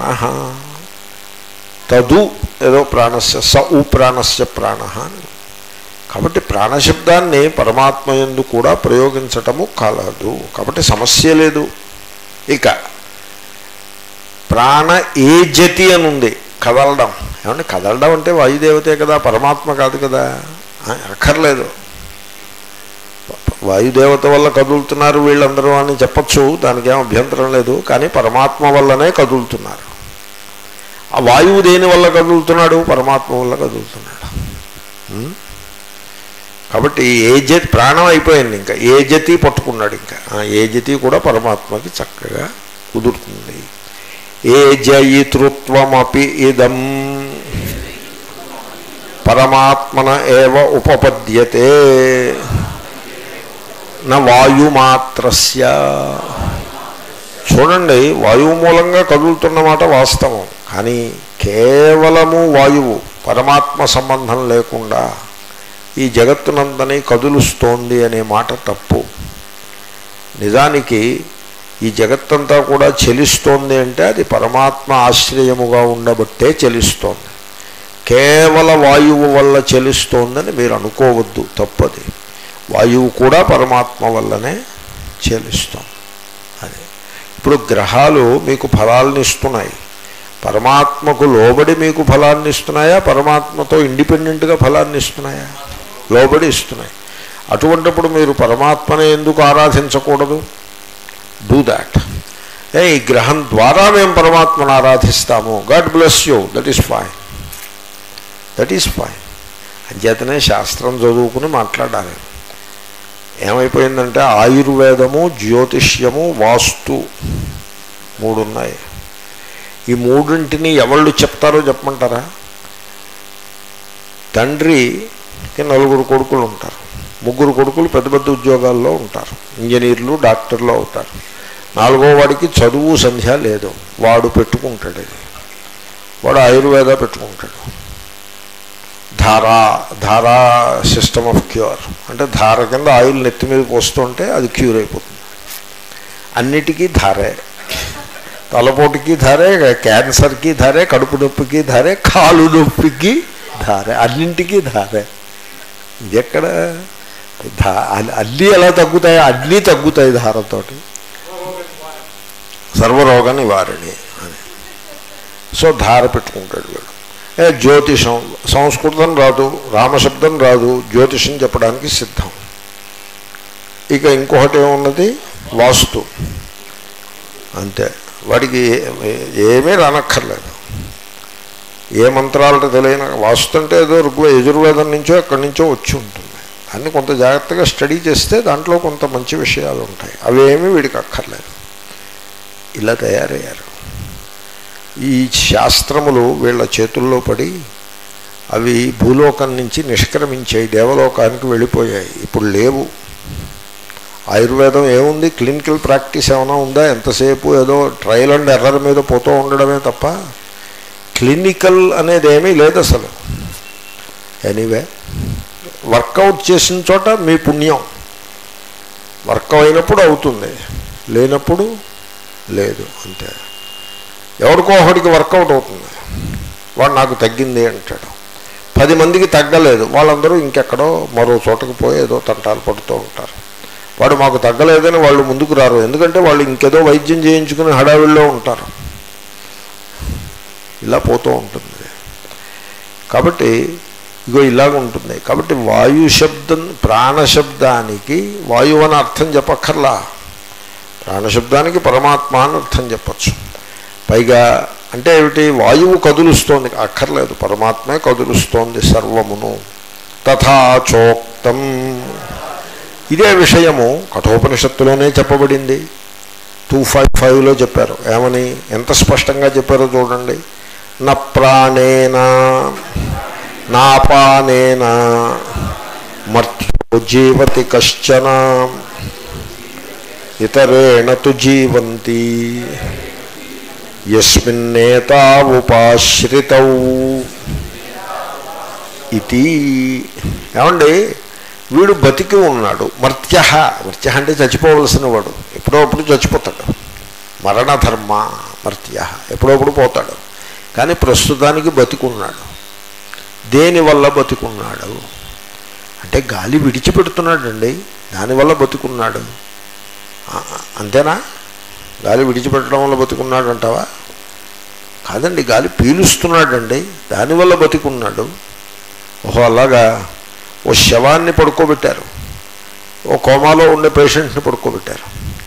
వీడికి ఆక్సిజన్ సిలిండర్ పెట్టి గాలి పంపిస్తున్నారు పీలుస్తున్నాడు విడిచిపెడుతున్నాడు. మీరు అదే పని శవానికి పెట్టండి. బతుకుతున్నది ఇప్పుడు శవానికి ఐ ట్రాన్స్ప్లాంట్ చేశారనుకోండి శవం చూస్తుందా? చూడదు. కాబట్టి చూసేది కన్నా కన్ను వెనుక ఉండే కన్నా ఉండే కన్ను చూస్తుంది. కన్ను వెనుక కన్ను ఉంటే ఈ కన్ను పెడితే చూస్తుంది. కన్ను వెనుక కన్ను లేదనుకోండి ఒక కన్ను కొత్తగా పెట్టారనుకోండి ఏమవుతుంది? ఏమీ ఇప్పుడు ఒకడు పోతాడు. వాడి కన్ను చూస్తుందా? చూడదు. ఈ కన్నుని కట్ చేసేసి వెంటనే తీసుకెళ్ళి ఇంకొకడికి పెట్టండి. అప్పుడు చూస్తుంది. ఇదే కన్ను చూస్తుంది. ఎందువల్ల? అంటే ఇక్కడ ఉన్నప్పుడు దాని వెనుక ఉండాల్సిందేదో మిస్ అవుతోంది. అక్కడ ఉన్నప్పుడు దాని వెనుక ఉండాల్సింది ఉంది. కాబట్టి కన్ను చూస్తోందా? కన్ను వెనుక ఉన్నది చూస్తోందా? కన్ను వెనుక ఉన్నది చూస్తోంది. గాలి పీల్చి విడవడం చేత బతుకుతున్నాడా? లేక గాలి పీల్చడము విడవడముకు వెనకాల ఇంకోటి ఏదో ఉంది దానివల్ల బతుకుతున్నాడా? దానివల్లే బతుకుతున్నాడు? మర్త్య ఎప్పుడైనా చచ్చిపోవాల్సిన ఈ మనిషి ప్రాణేన నజీవతి. కశ్చన ఎవడైనా గాలి విడిచిపెట్టడం చేత బతకటం లేదు నా అపానేన. గాలిని పేల్చడం చేత బతకటం లేదు. మరి దేని చేత బతుకుతున్నారయ్యా? ఇతరేణతు జీవంతి. అందరూ కూడా మరొకటి ఉంది. దాని చేత బతుకుతున్నారు. నిజానికి ఈ గాలి పీల్చుట విడిచిపెట్టుట ఏతవు ఇవి రెండు కూడా ఆ మరొకటి ఉంది చూసారా దానివల్లనే సంభవమగుచున్నవి. యస్మిన్నేతవు ఉపాశ్రితం. ఓకే? కాబట్టి గాలి పీల్చేసి వితిలి పెట్టేసి బతికేస్తే ఇంకెవరిని చావనివ్వరు. అమెరికాలో వాళ్ళు ఏం చేస్తారంటే ఎవరిని చావకుండా ఏర్పాట్లు చేసేస్తారు. గాలి పీల్చేసి చచ్చిపోతాం అనిపించిన వెంటనే మెషిన్ ఆన్ చేసేసుకోవటమే. పీల్చేస్తూ ఉంటుంది వదిలిపెట్టేస్తూ ఉంటుంది. బ్రీదింగ్ మెషిన్ ఉంది. మీరు ఎరుగుదరా బ్రీదింగ్ మెషిన్ ఉంది. వీడిని ఆ మెషిన్ మీద పెట్టేస్తారు. Is attached to breathing machine. Anaesthesia అంటే అదే. General anaesthesia is like that. వీడిని బ్రీదింగ్ మెషిన్ మీద పెట్టేస్తారు. పెట్టేస్తుంటే మెషిన్ బ్రీత్ చేస్తూ ఉంటుంది. లంగ్స్ బ్రీత్ చేయవు.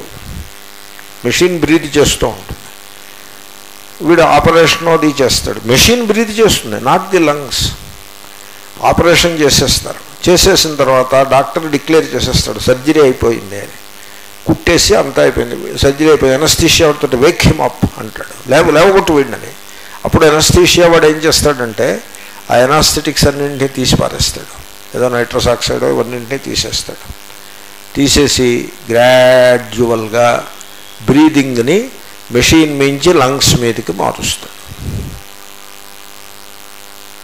తీరా వీడు బ్రీదింగ్ని మెషిన్ మించి లంగ్స్ మీదకి మారుద్దాం అనుకునే టైంలో ఆ లంగ్స్ కనుక టేక్ ఓవర్ చేయకపోతే అప్పుడు declaration ఏమిస్తారంటే surgery is successful but the patient is gone అలా అవుతుందండి. అప్పుడు సర్జన్ ఏమంటాడంటే surgery was successful.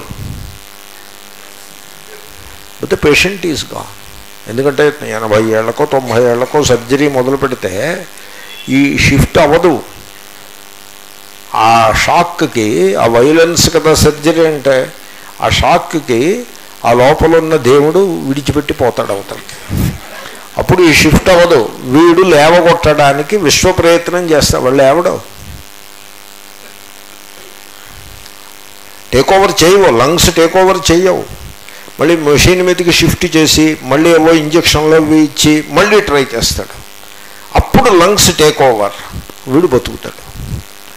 అప్పుడు కూడా టేక్ ఓవర్ చేయలేదనుకోండి. ఇంకేదో హార్ట్లోకి ఏదో డైరెక్ట్ ఇంజక్షన్ ఒకటి పొడి చేయి మళ్ళీ ట్రై చేస్తాడు షిఫ్ట్కి టేక్ ఓవర్ చేయవు.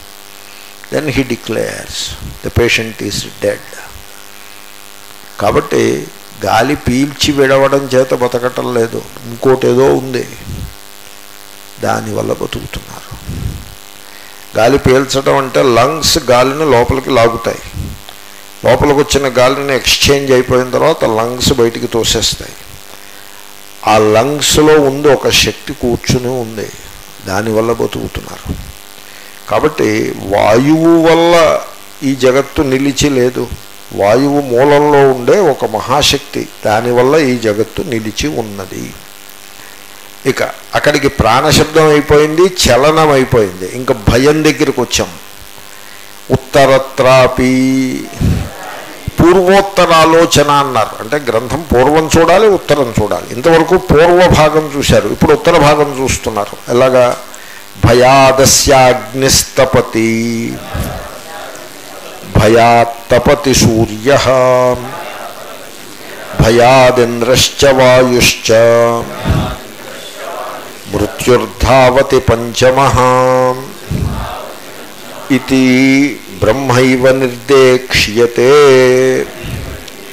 నా వాయు అది ఉత్తర భాగంలో కూడా పరమాత్మనే చెప్తున్నారు తప్ప శృతి చెప్పబోతోంది తప్ప వాయువుని చెప్పటం లేదు. ఏమని చెప్తోందో తెలుసిన? ఇప్పుడు ఇంద్రుడు అంటే పర్జన్యాధిపతి. చూడండి మాన్సూన్ వచ్చేసి దేశం అంతా కూడా వర్షిస్తోందా? ఎలా వస్తుంది మాన్సూన్ తెలుసిన? ముప్పయో తారీఖు వస్తుంది.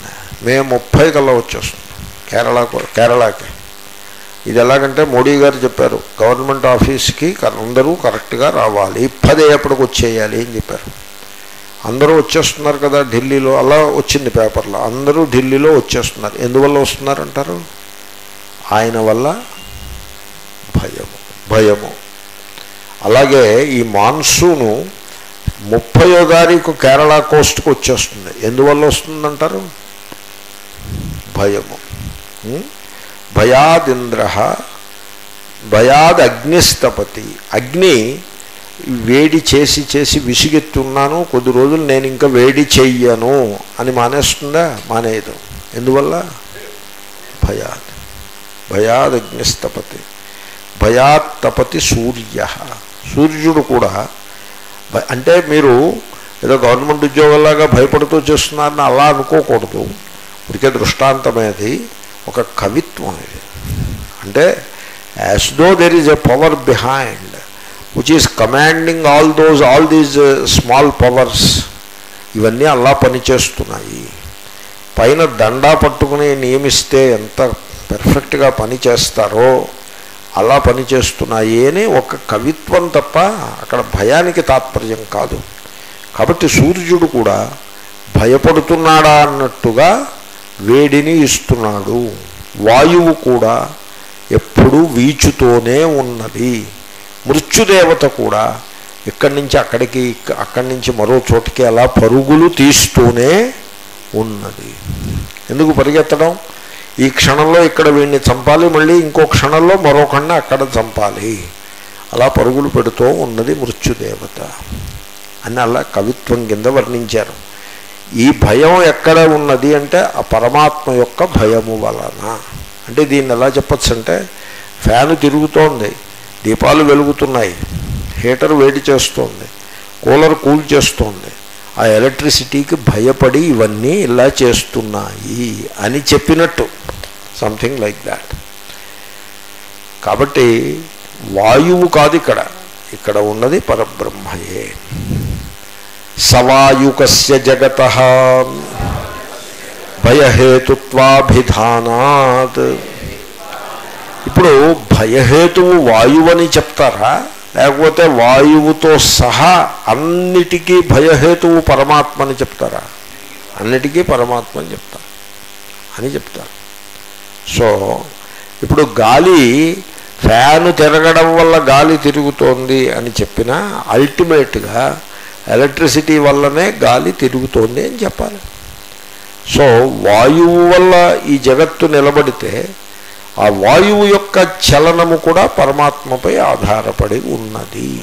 కాబట్టి వాయువు ఇంటర్మీడియటే తప్ప అల్టిమేట్ భయహేతువు వాయువు కాదు. ఇక తదేవ ఇహాపి సన్నిధానాత్ మహద్భయం. ఇప్పుడు టూ సిక్స్ త్రీలో ఏది చెప్పారు? మహాభయహేతువు ఏది? పరమాత్మ. ఏమంటే టూ సిక్స్ త్రీలో మహాభయహేతువు పరమాత్మ. టూ సిక్స్ టూలో మహాభయహేతువు వాయువు. కరెక్టా అది? తప్పు. తర్వాత టూ సిక్స్ త్రీలో వాయువుకు కూడా భయహేతువేది పరమాత్మ. కానీ టూ సిక్స్ టూలో మటుకు మహాభయము వాయువు అని చెప్పచ్చా? చెప్పకూడదు. కాబట్టి టూ సిక్స్ త్రీ పక్కనే ఉంది. దాని ముందు శ్లోకంలో మహాభయం అని కనపడింది. యాజ్ ఇఫ్ టూ సిక్స్ టూలో చెప్పిన మహద్భయం అనే పదాన్ని వివరించడం కోసమే టూ సిక్స్ త్రీ వచ్చినట్టుగా మనకు కనపడుతుంది. కాబట్టి టూ సిక్స్ త్రీ చూసుకోండి మీరు. అక్కడ వాయువు భయహేతువు కాదు. వాయువుకి కూడా భయమును కలిగించే భయహేతువు పరమాత్మ అని చెప్పారు. ఇప్పుడు సూపరింటెండెంట్ గారిని చూసి వీళ్ళందరూ భయపడుతున్నారు. కానీ సూపరింటెండెంట్ గారు భయపడుతున్నారండో?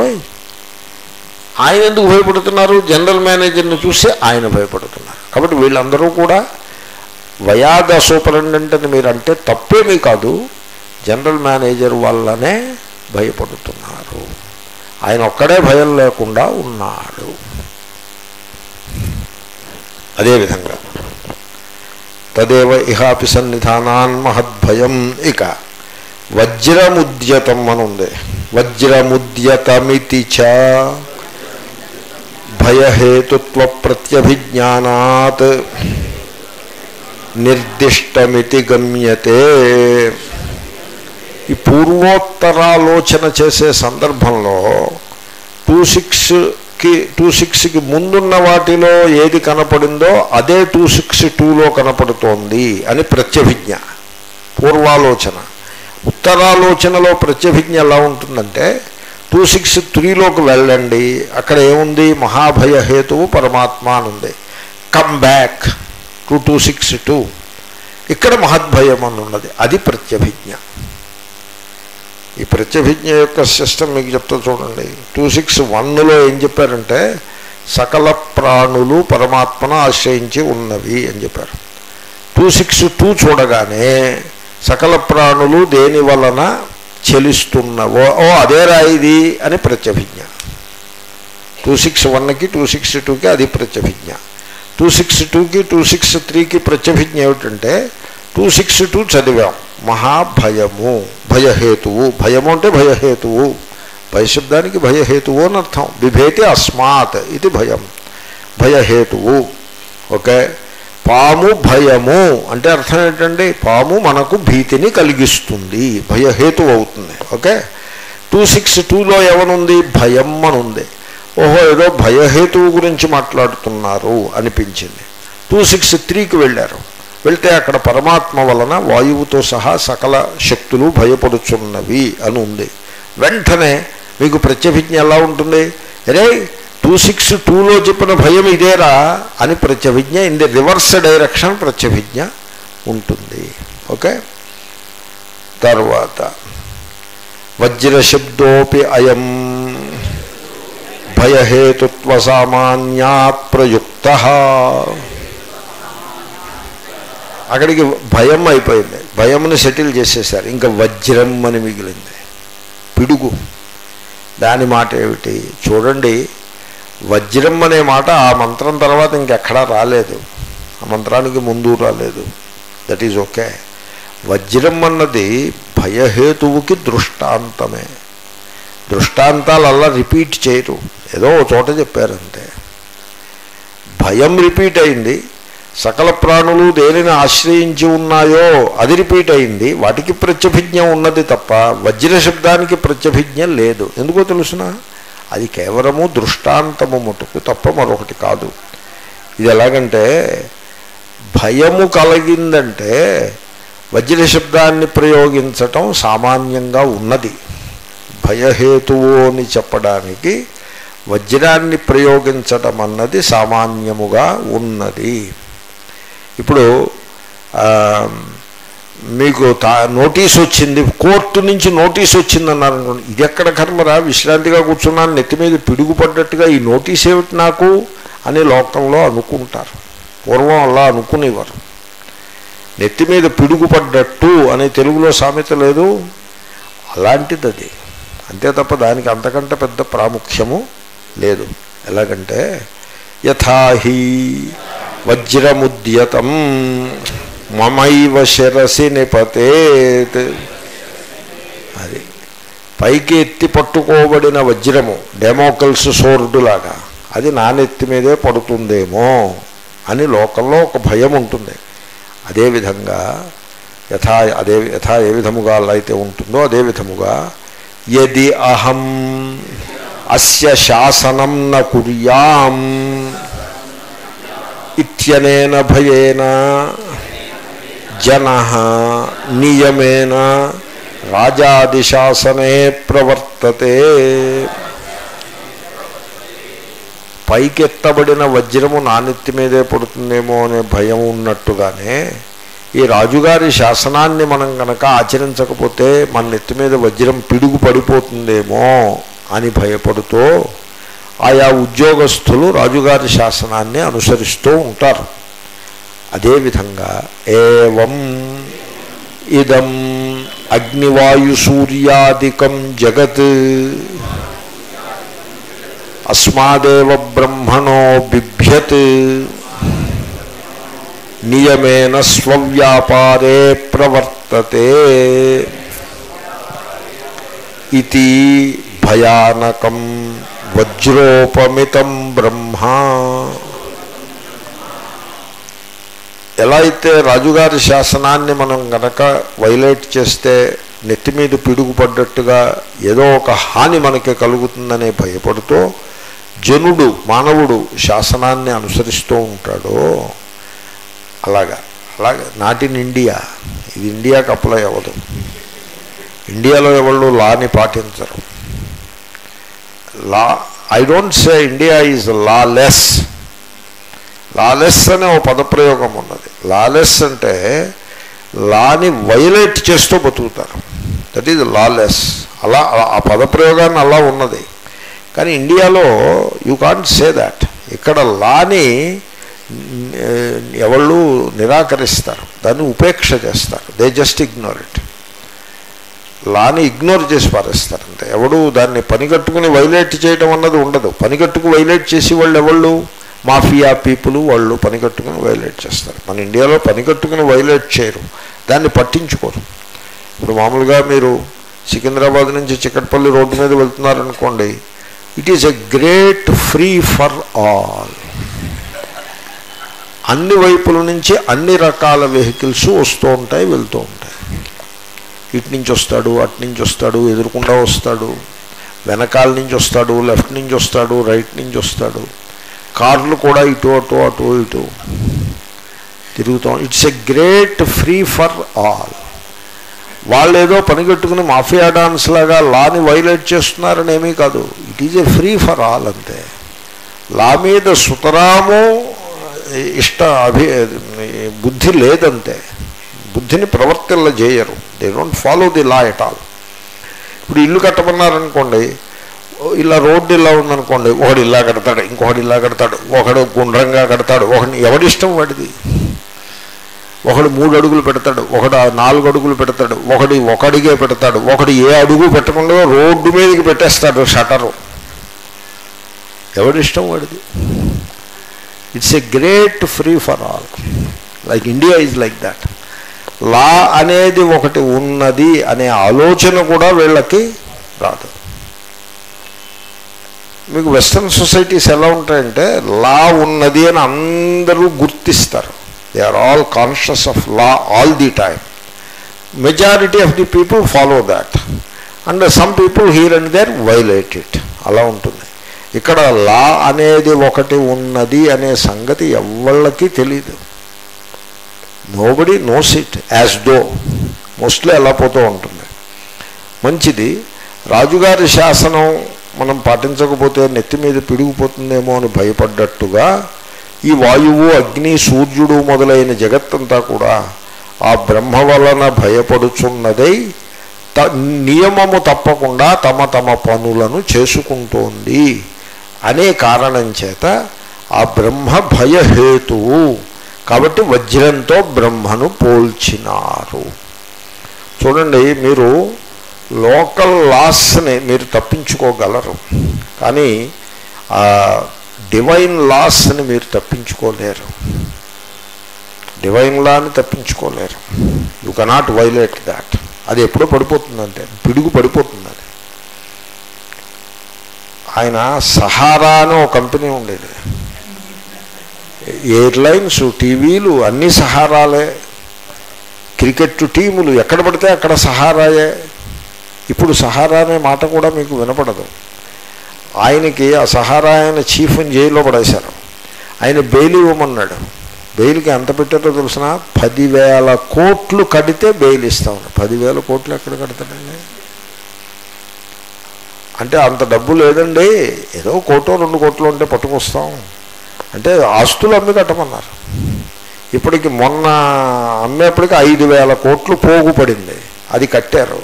సరిపడదు. ఇంకో ఐదు వేలు కట్టే మీరు బెయిల్ తీసుకోమని మళ్ళీ జైల్లో పెట్టేశారు. అలా ఉంటుంది. పడిపోతుంది అంతే it will fall upon the head they cannot violate it people should know that తథాచ బ్రహ్మ విషయం శృత్యంతరం ఈ బ్రహ్మను భయహేతువుగా వర్ణించింది కేవలము కఠోపనిషత్తే కాదు తైత్రీయం కూడా అలాగే వర్ణించింది. ఎలాగంటే భీషాస్మాద్వాత పవతే. ఈ పరమేశ్వరుని వలన భయపడుచున్నదై గాలి వీచుచున్నది. కాబట్టి గాలి వాయువు భయహేతువు కాదు వాయువు భయపడుతున్నవాడు. భీషోదేతి సూర్య.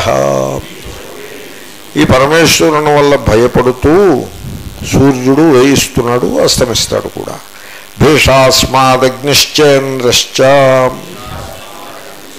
ఈ పరమేశ్వరుని భయము వలననే అగ్ని ఇంద్రుడు కూడా తమ తమ పనులను చేయుచున్నవి.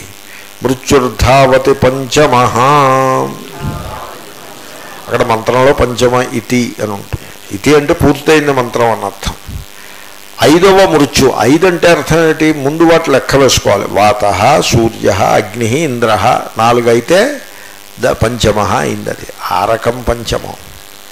దట్ పంచమ is not important it is the fifth in the sequence ఆ మృత్యువు పరిగెడు పరుగులు తీస్తూ ఉంటుంది. మృత్యువు పరుగులు తీస్తూ ఉంటుంది. దీనికి ఒక కథ ఉంది. వీడు మృత్యువు వీడిని తరువుకొస్తే ఒక గ్రామం నుంచి టెహరాన్ వెళ్తాడు. అది అది కథ. ఇరాన్ నుంచి వచ్చింది కథ. టెహరాన్ వెళ్ళిపోతాడు. ఎందుకంటే మృత్యువు ఇటు వస్తుందని. ఆ మృత్యువు ఏం చేసిందంటే మనస్సు మార్చుకుని అంటే అంటే దాని ప్లాన్ మార్చుకుని టెహరాన్లోనే ఉండిపోయింది ఆ మృత్యువు. వీడు గుర్రం మీద టెహరాన్ వెళ్తాడు. అది అలవాటు. అది సంగతి. కాబట్టి మృత్యువుని ఎవ్వళ్ళు తప్పించుకోలేరు. ఇప్పుడు ఇండియాలో వైద్యం చేయించుకోవచ్చు కదా. ఇండియాలో ఏవో వైద్యాలు ఉంటాయి చేయించుకోవచ్చు కదా. ఇండియాలో వైద్యం జారదన్నట్టుగా జపాన్నో లేకపోతే సింగపూరో లేదా దుబాయో వెళ్ళారనుకోండి అక్కడ మృత్యు ఉండదా ఏమి? అక్కడ ఉంటుంది మృత్యు. కాబట్టి మృత్యుర్ధావతి పంచమ ఇది అక్కడికి ఒకటైంది. కాబట్టి భయహేతువు వాయువు కాదు భయహేతువు పరమాత్మయే. వాయువుకి కూడా. అమృతత్వఫలశ్రవణాదపి బ్రహ్మైవేదమితి గమ్యతే. ఇంకా ఫైనల్గా ఎవళ్ళైతే ఆ ప్రాణదేవతను తెలుసుకుంటారో వారు మోక్షమును పొందుదరు అని చెప్పారు. అంటే ఆ ప్రాణదేవత పరమాత్మయే అవుతుంది. ఎందుకంటే బ్రహ్మజ్ఞానాద్ధి అమృతత్వ ప్రాప్తి హీ బికాజ్ అమృతత్వము మోక్షమనేది బ్రహ్మజ్ఞానం వల్ల వస్తుంది తప్ప వాయు ఉపాసన వల్ల మోక్షము రాదు. అది అది ఎలాగంటే తమేవ విదిత్వా అతిమృత్యుమేతి నాణ్య పంథా విద్యతే జనాయ ఇది మంత్రవర్ణాత్. మంత్రవర్ణము అంటే మంత్రభాగము పార్ట్ ఆఫ్ ది మంత్ర ఏమని చెప్తోంది ఆ మంత్రము? సో తమేవ విదిత్వ ఆ పరమాత్మను మాత్రమే తెలుసుకొని లేదా తం విదిత్వ ఏవ ఆ పరమాత్మను తెలుసుకొని మాత్రమే మృత్యుం అతి ఏతి మృత్యువును అతిక్రమిస్తాడు మనిషి. అంటే అమృతత్వాన్ని మోక్షాన్ని పొందుతాడు. అయనాయ మోక్షము కొరకు అన్య పంథా. మరి ఒక దారి న విద్యతే లేదు. మోక్షానికి ఇది ఒక్కటే దారి మరి ఒక దారి లేదు. ఇది మంత్రవర్ణాత్. ఇక మొత్తం సిద్ధాంతం అంతా అయిపోయింది. అక్కడ ఏమని చెప్పారంటే పూర్వపక్షంలో వాయువుని ఉపాసిస్తే మోక్షం వస్తుందని చెప్పారు అమృతత్వం వస్తుందని చెప్పారు. దాని మాట ఏమిటి మరి? లూజెన్స్ అంటారు వీటిని. ఈ లూజెండ్స్ని కూడా టైఅప్ చేసేయాలి. ఎత్తు వాయు విజ్ఞానాత్ క్వచిత్ అమృతత్వమభిహితం తదాపేక్షికం. వాయు ఉపాసన వల్ల అమృతత్వం వస్తుందని ఒక ఉపాసనా ప్రకరణంలో చెప్పారు. వాయురేవ వ్యష్టి వాయురేవ సమష్టి అపపునర్మృత్యుంజయతియ ఏవం వేద అని చెప్పారుగా. అంటే అక్కడ అమృతత్వము ఆపేక్షికము. అబ్సల్యూట్ కాదు రిలేటివ్ ఆపేక్షికము. అంటే చాలా కాలం జీవిస్తాడు అని అర్థం. చాలా కాలం అంటే ఎంత? అందరూ డెబ్భైకి పోతుంటే వీడు ఎనభై దాకా జీవిస్తాడు. అందరూ ఎనభైకి పోతుంటే వీడు తొంభై దాకా జీవిస్తాడు. సంథింగ్ లైక్ దాట్ అంతే తప్ప మోక్షం వచ్చేస్తుందని మాత్రం కాదు. తత్రైవ ప్రకరణాంతరకరణేన పరమాత్మానమభిధాయ అతోన్యదార్థం ఇది వాయువాదే ఆర్తత్వాభిధానాత్. ఎందుకంటే వాయువు యొక్క ఉపాసన వల్ల అమృతత్వం వస్తుంది అని చెప్పిన మంత్రం ఉందే బృహదారణ్యక మంత్రం. ఏమని? వాయురేవ వ్యష్టిర్వాయు సమష్టి అపపునర్మృత్యుంజయతి య ఏవం వేద. ఇది బృహదారణ్యకంలోది. నువ్వు ఆ ఒక్క మాటే తీసుకొచ్చావు అక్కడి నుంచి. అక్కడ ఇంకొంచెం ముందుకు వెళ్ళి చూడు ఏముందో. ఏముందో తెలుసునా అక్కడ? ఏముందంటే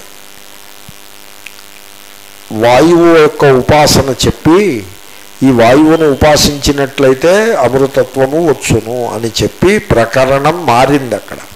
ప్రకరణం ఇంకో ప్రకరణం పట్టుకొచ్చారు ఏమిటో తెలిసిన? ఇంకో ప్రకరణం పరమాత్మ ప్రకరణం. వాయు ప్రకరణం పూర్తి చేసి పరమాత్మ ప్రకరణంలోకి వచ్చారు. టాపిక్ మార్చారు. అక్కడ ఏమని చెప్పారంటే పరమాత్మ ప్రకరణంలో పరమాత్మ యొక్క స్వరూపాన్ని పూర్తిగా చెప్పి అత అన్యత్ ఆర్తం. అంటే ఈ పరమాత్మ కంటే ఇతరమైన సర్వము నశించేది అని చెప్పారు. ఆ ఇతరమైన సర్వంలో వాయువు కూడా ఉంది. అదే. కాబట్టి వాయువే నశించిపోతుంది పరమాత్మ మాత్రమే మిగిలి ఉంటుంది అని చెప్పారు. కాబట్టి అటువంటి నశించిపోయే వాయువును ఉపాసించటం వల్ల లభించే అమృతత్వము అది ఆపేక్షికమే అవుతుంది. అంటే వాయువు ఉన్నంతకాలం ఉంటుంది. వాయువు పోతూనే ఇది కూడా పోతుంది ఇది ఎలాగంటే మినిస్టర్గా అపాయింట్ అయ్యాడు ఒక ఆయన. వీడేదో క్లర్క్ ఉద్యోగం ఏదో చేసుకుంటున్నాడు హైదరాబాద్లో. వీడు క్యాబినెట్ మినిస్టర్గా అపాయింట్ అయ్యాడు సెంటర్లో. అరే నువ్వు నాకు సెక్రటరీగా రమ్మని వీడిని పట్టుకుపోయాడు. వీడు సెక్రటరీగా పనిచేస్తున్నాడు. ప్రైమ్ మినిస్టర్ గారికి వీడి పని నచ్చక ఏడాది అయిన తర్వాత రీషఫుల్ వచ్చినప్పుడు వీడిని డ్రాప్ చేశారు. అప్పుడు వీడి సెక్రటరీ ఉద్యోగం ఏమవుతుంది?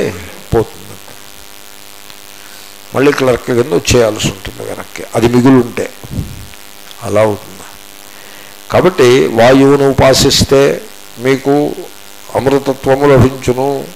కానీ వాస్తవంగా ఉన్నది పరమాత్మయే సత్యము. పరమాత్మయే సత్యము తప్ప ఈ వాయువు అగ్ని ఇవన్నీ కూడా అనిత్యములే ఇవన్నీ నశించేవే. అంటే అది ప్రకరణం మొత్తం ప్రకరణం. ఆ ప్రకరణాన్ని మీరు పరిశీలిస్తే మీకు ఒక విషయం స్పష్టమైపోతుంది. వాయువుని ఉపాసిస్తే వచ్చే అమృతత్వము అల్పము ఆపేక్షికము రిలేటివ్ నాట్ ద ఫైనల్ అమృతత్వం. అని తెలిసిపోతుంది కదా. ఇప్పుడు మీరు ఏదో చిన్న పూజ ఈ పూజ చేస్తే ఈ దేవతకి పూజ చేస్తే ఆ కోరిక తీరుతుంది. ఓకే. తీరిందే అనుకోండి. తర్వాత మాట ఏమిటి? That is not the end of the road ఇంకా చాలా పెద్ద రోడ్డు ఉంది. ఎప్పటికీ ఈ ప్రయాణం ఎప్పటికీ తేలేను. కాబట్టి మొత్తం రోడ్డునంతని కవర్ చేసే తత్వాన్ని ఏదో పట్టుకోవాలి కానీ ఈ చిన్న చిన్న దేవతలను పట్టుకుని మీరు ఏం చేస్తారు? అని శ్రీకృష్ణుడు స్పష్టంగా చెప్పేశాడు. కామైస్తైస్తైర్హృతజ్ఞానా ప్రపద్యంతే అన్యదేవతా. పరమాత్మను విడిచిపెట్టి ఈ చిల్లర దేవుళ్ళను పట్టుకుని ఆయా కోరికల చేత అపహరింపబడిన వివేక జ్ఞానము గలవారై కొలుస్తూ ఉంటారు. వాళ్ళకి ఫలం వస్తుంది. కానీ అంతవత్తు ఫలం తేషాం. యా అల్పచేతసాం అనేదో ఉంటుంది. వాళ్ళకు వచ్చి ఫలము చాలా అల్పముగా ఉంటుంది. అంటూ ఇలాగా చాలా స్పష్టంగా భగవద్గీతలో చెప్తారు. అంచేతనే వీళ్ళు ఎవరు భగవద్గీతని చదవరు. ఎందుకంటే భగవద్గీత చదివితే కంఠంలో పచ్చి వెలక్కాయ పడ్డట్టుగా ఉంటుంది. అది వీళ్ళకి బెసగడానికి వీలు లేకుండా ఉంటుంది. అంచేత భగవద్గీత చదవరు. ఈ దేవతకి పూజ ఓ పందిరి వేస్తాడు. ఓ పది మంది దేవతల్ని పెడతాడు. పిలుస్తాడు. నీ కోరిక ఏమిట్రా? నాకు సంతానం అక్కడికి పో. డబ్బు ఇక్కడికి పో. ప్రమోషను ఇక్కడికి పో. అని అలా పంపిస్తూ ఉంటాడు. దుకాణం. మార్కెట్. అదేంటి మాల్ ఉంటుంది చూసారా? Something like that. ఇదంతా కూడా చాలా అల్పమైన వ్యవహారము. కాబట్టి ఆపేక్షికమైన ఫలం మాత్రమే చెప్పబడినది. ఎందుకంటే వాయువాదువుకు కూడా ఆర్తత్వ అభిధానాత్. ఆర్తం అంటే వినాశి అని అర్థం. వాయు వాయువాదులు కూడా నశించేవే. వాయువు అగ్ని అన్నీ కూడా నశించే పరమాత్మలో విలీనమయ్యేవే అని అక్కడే చెప్పినారు. కాబట్టి పరమాత్మనే పూజించవలసినది అని అక్కడ చెప్తుంటే ఇక్కడ కూడా అదే నిర్ణయానికి మనం రావాలి. ప్రకరణాదపి అత్ర పరమాత్మ నిశ్చయ ఇంకా ఫైనల్ హేతువు చెప్తున్నారు. ఇన్ని హేతువులు చెప్పి చూడండి. ఈ టూ సిక్స్ టూ మంత్రంలో ప్రాణశబ్దము చేత పరమాత్మయే చెప్పబడుతోంది వాయువు కాదు. ఎందుకో తెలుసిన? ఈ టూ సిక్స్ అంతా కూడా పరమాత్మ ప్రకరణము తప్ప వాయు ప్రకరణము కాదు. ఎలాగా? అన్యత్ర ధర్మాదన్యత్రా ధర్మాత్. అన్యత్రాస్మాత్ కృతాకృతాత్ అన్యత్ర భూతాచ్చ భవ్యాచ్చ. యత్తత్పశ్యసి తద్వదా. ఇది పరమాత్మన పృష్టత్వాత్. నచికేతుడు పరమాత్మను చెప్పమని అడిగాడు తప్ప వాయుదేవత గురించి చెప్పమని అడగలేదు. అడిగిందే చెప్తారు. అడగనిది చెప్పరు అలా ప్రకరణం అనేది ఒకటి ఉంటుందిగా దాన్ని జాగ్రత్తగా ఫాలో అవ్వాలి కదా. ఇక్కడ ధర్మాధర్మములకు అతీతమైన తత్వాన్ని చెప్పమని అడిగారు. అంతేగాని వాయుదేవతను పూజించుట అనే ఒక ధర్మము అది ధర్మంలో భాగం. దానివల్ల ఈ ఫలము అది కాదు ఇక్కడ ప్రకరణం. అలాగే అన్యత్ర అస్మాత్ కృత అకృతాత్. కృత అంటే చేయబడిన కర్మ. అకృత అంటే ఇంకా చేయవలసి ఉన్న కర్మ. ఇంకా చేయలేదు ఈ పైన చేయాలి. వాటికి అతీతమైనది అని చెప్తున్నారు. అంటే కర్మకాండకు అతీతమైన బ్రహ్మని గురించి ప్రశ్నిస్తున్నారు తప్ప ఈ వాయు ఉపాసన ఇది ఇంతవరకు చేసావా చేయలేదా? చేస్తే సంతోషం చేయకపోతే చేసుకో అని ప్రకరణం కాదు ఇది. అన్యత్ర భూతాచ్చ భవ్యాచ్చ వాయు ఉపాసన వల్ల లభించే అమృతత్వము అది కాలప్రవాహంలో భాగంగా ఉంటుంది. ఇప్పుడు వాయువును ఉపాసన చేస్తే ఇంకో పదేళ్ళు ఎక్కువ బతుకుతాడు అలా ఉంటుంది. అంతే తప్ప భూత భవిష్యత్తులకు అతీతమైన అంటే కాలమునకు అతీతమైన పరమాత్మతత్వానికి ఈ వచ్చిపోయే ఫలములతో సంబంధమేమీ ఉండదు. అటువంటి తత్వాన్ని నీవు ఎరుగుదువు నీవు సాక్షాత్కరించుకున్నావు హే యమా! అటువంటి తత్వం ఏది గలదో దానిని నీవు ఎరుగుదువు. యత్ తత్వం పశ్యసి. తద్వద అది నాకు చెప్పు అని అడిగాడు. అంతే తప్ప చిన్న చిన్న దేవతలను చిన్న చిన్న ఫలముల కొరకు ఉపాసించుట అనే ప్రకరణము ఇది కాదు. ఇది చాలా పెద్ద ప్రకరణం. ఇది ఇక్కడ లంచం తీసుకుని వీడికో ఉద్యోగం అక్కడ ఎవడో రికమెండేషన్ వాడికో ఉద్యోగం. అలా కాదు ఇది మోడీ గారిది స్కిల్ డెవలప్మెంట్ స్కీము. మొత్తం దేశంలో ఉండే యువకులందరికీ స్కిల్ని నేర్పడం కోసం వచ్చిన స్కీమ్ తప్ప బావమరుదులకి మేనల్లుడు కొడుక్కి ల- ఉద్యోగాలు ఇవ్వడానికి లంచాలు తీసుకుని ఉద్యోగాలు ఇవ్వడానికి వచ్చిన స్కీమ్ కాదు అది. అది మొత్తం నేషన్ అంతని కవర్ చేసేటువంటి స్కీము. వీడి కోసం వాడి కోసం పెట్టలేదు. It is not meant for individuals it is meant for the entire nation as a policy ఆయన ఏమన్నారంటే ఇండివిజువల్స్ కోసం మేము పని చేయమని చెప్పారు. We work for the policy only so అలాగా ఈ దేవతకి ఈ కోరిక ఆ కోరికకి ఈ దేవత అలాంటిది కాదు ఇది. ఇది ఈ సకల దేవతలను తన ఎందు అంతర్గతం చేసుకున్న పరమాత్మను తెలుసుకుని వీడు మోక్షాన్ని పొందటం కోసం ఉద్దేశించిన ఉపనిషత్తు తప్ప ఇక్కడ ఈ ఉపాసన అక్కడ ఆ ఉపాసన ఇత్యాదుల కోసం ఉద్దేశించినది కాదు. ఎందుకంటే ప్రకరణమే అట్టి పరమాత్మ ప్రకరణము. జ్యోతిర్దర్శనాత్. ఇది జ్యోతిరధికరణం. ఇది అయిందా లేదా? అయిపోయింది. సంతోషం. ఓం పూర్ణమద పూర్ణమిదం పూర్ణాత్ పూర్ణముద్యతే. పూర్ణస్ పూర్ణమాదాయ పూర్ణమేవాశిష్యతే ఓం శాంతి శాంతి శాంతి బ్రహ్మసూత్ర క్లాసులు అయ్యే ఈ సెషన్కి రేపు వచ్చే ఆదివారం